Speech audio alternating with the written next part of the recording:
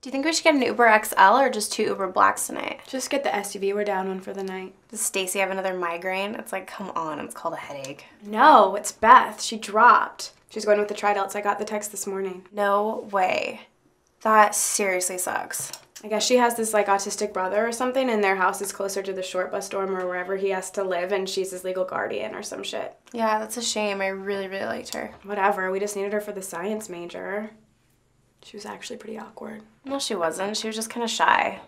I hope her brother's okay though. Ew. Why do you care about her retarded brother? Autism is not being retarded, okay? Obviously, he was smart enough to get in this school.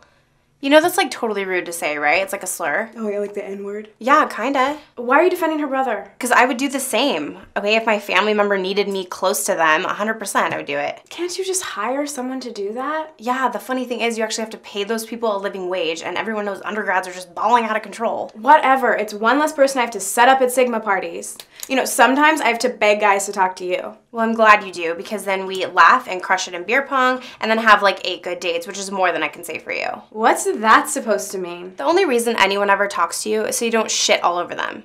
On the outside, you're all pink and pretty, but on the inside, you're an immature brat and categorically not a good person. You know what? I don't even want to go out anymore. Maybe Beth will hang out with me.